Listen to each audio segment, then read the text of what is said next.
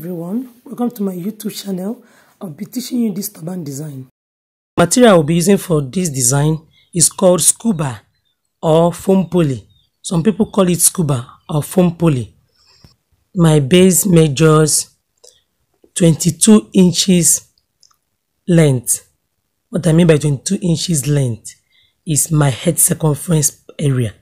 So it's a stretchy fabric and because of that i'm not adding any allowance. My head circumference is 22 inches. Wherever whenever you are using a stretchy fabric use that stretchy part for your head circumference. So my head circumference is 22 inches and this head circumference area i'm not adding any allowance. So i'll be measuring 22 inches length by 20 by 16 inches width. 22 inches length by 16 inches width. So that is it for the turban base. So let's go over to the top plate the design that will be on top of the turban base. That measures 23 inches length. Remember from the stretchy area 23 inches length by 14 inches width. 23 inches length by 14 inches width. The, the 23 inches length is the stretchy part another piece the loop that measures 4 inches width by 5 and half inches length.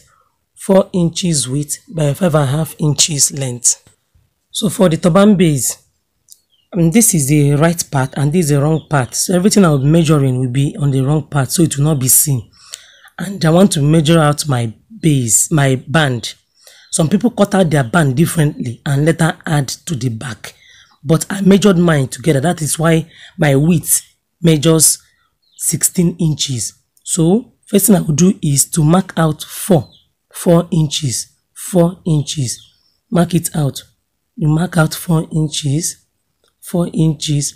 If you want to, uh, if you want to attach your own differently, you cut out 4 inches differently and the back will be 12 inches but I did mine together. There's no need cutting it out.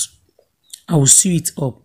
So what I will do now is to fold. So, I will fold I will, I will to that point down where there is down and take it to my sewing machine. I will sew those places I paint down and that will give me my band. See, I will sew it down and that will give me my band. Then for the top pleat design, the pleat that will be on top, first of all, measure half inch, half inch then under the half inch, you measure one and a half inches. You go down, measure again one and a half inches. You shift your hand, measure one and a half inches. You go down again, measure one and a half inches. You continue to measure one and a half inches till you get down, down to where it stops. At, at the end, what you have is half inch, so you leave that one. Don't know if you get me. First thing you measure is half inch. Then under it, you continue to measure one and a half inch. Do it for the for the right and the left side.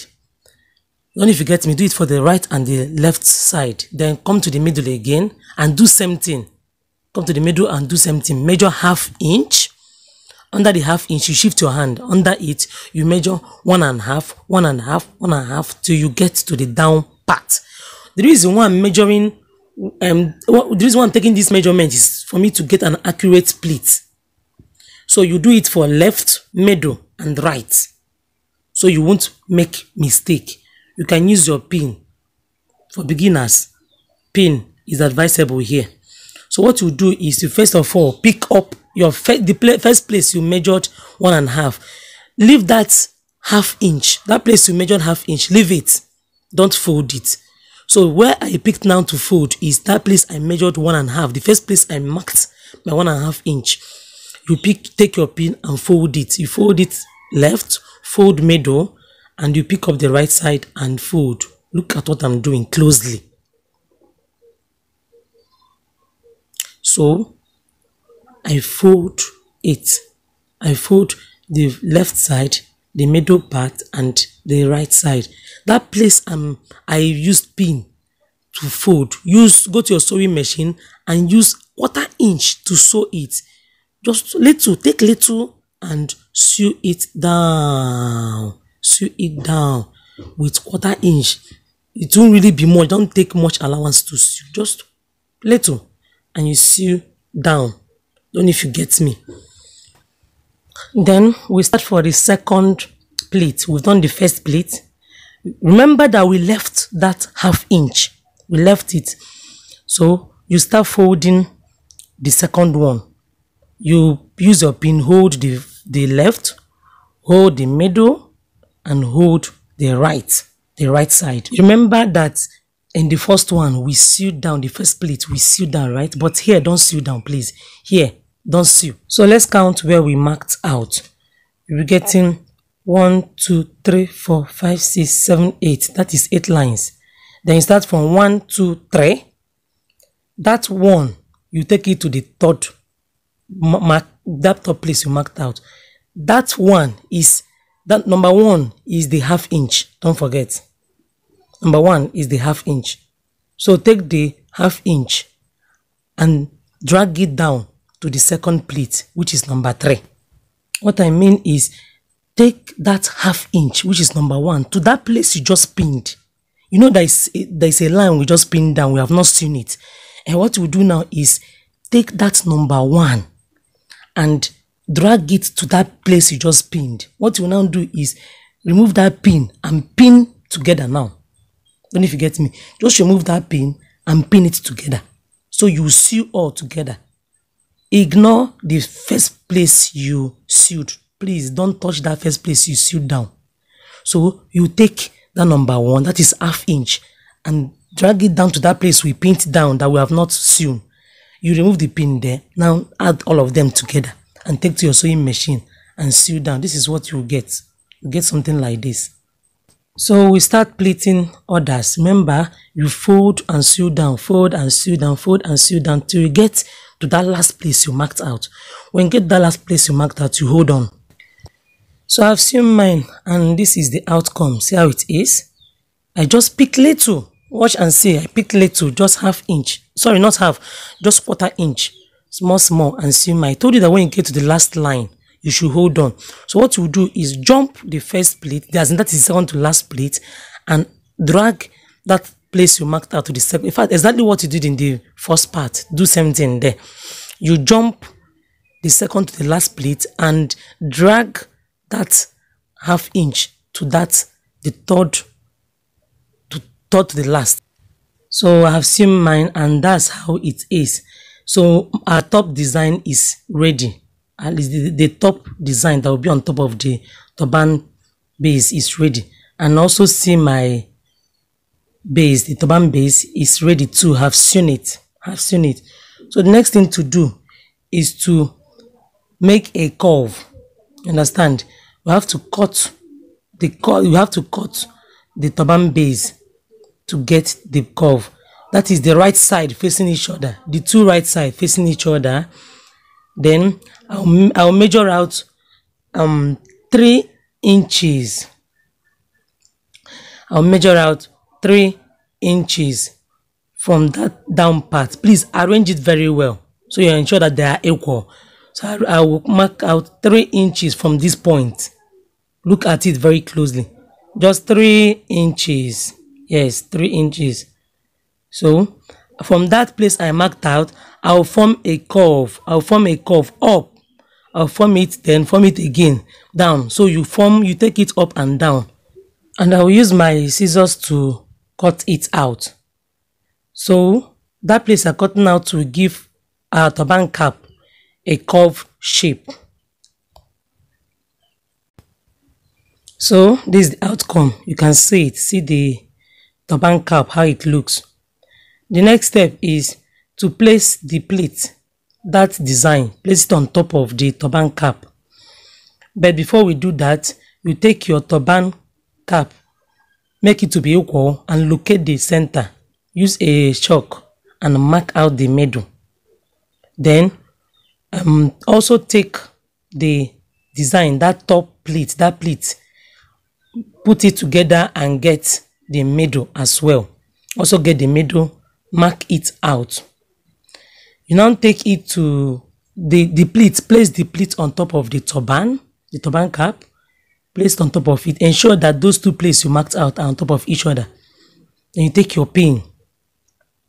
You take your pin and hold both together hold that center that middle place you marked out together then we uh, what i'm trying to do is to get a good shape for the edge. You know our turban base our turban cap is 22 inches length while the plate is 23 inches length. So 23 inches will be bigger than the 22 inches. What you do is drag it backward.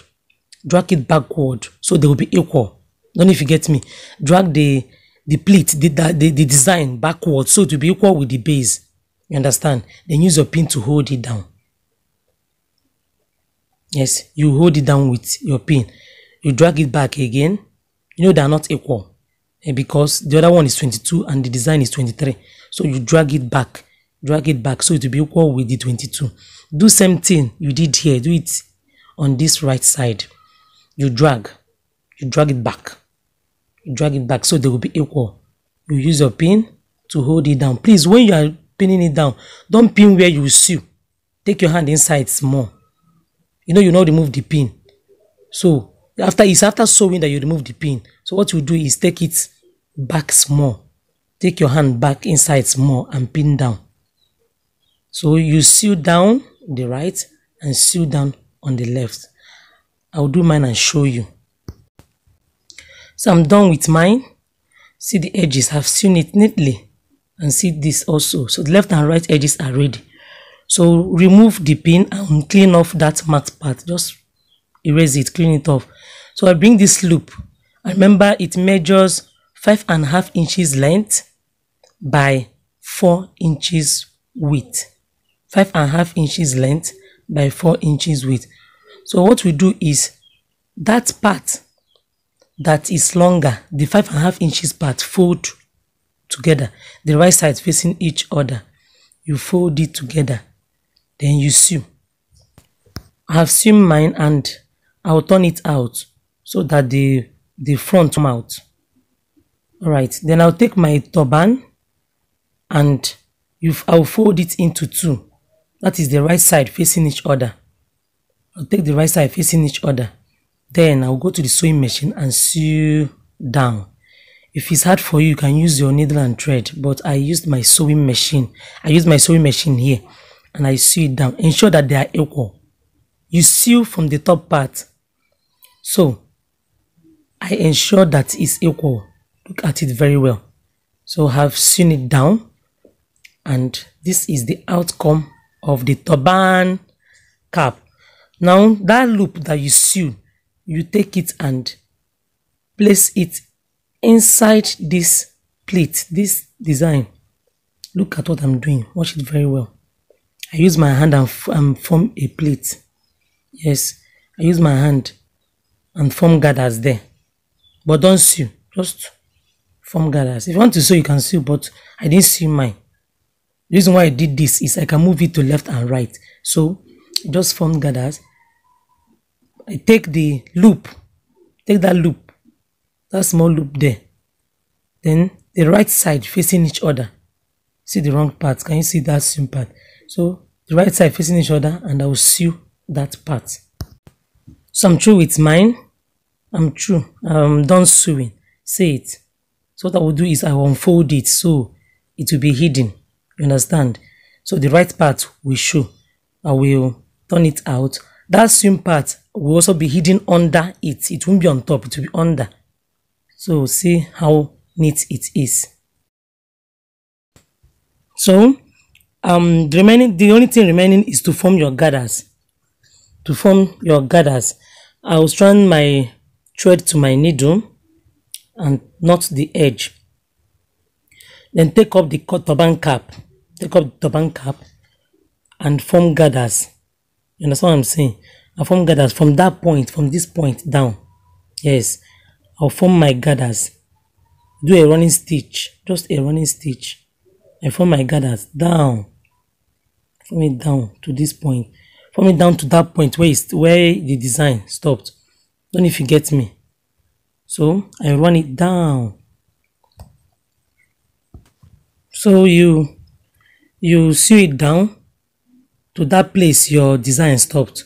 You sew it down to that place and you you hold you try to hold the the gathers firm understand? Please while sewing the gathers don't drag it much. Don't drag it much. Just give it a little gap. It won't be dragged much. So you tack. What i'm doing now is to tack the gather but i'm not dragging it much. I cut out and tie.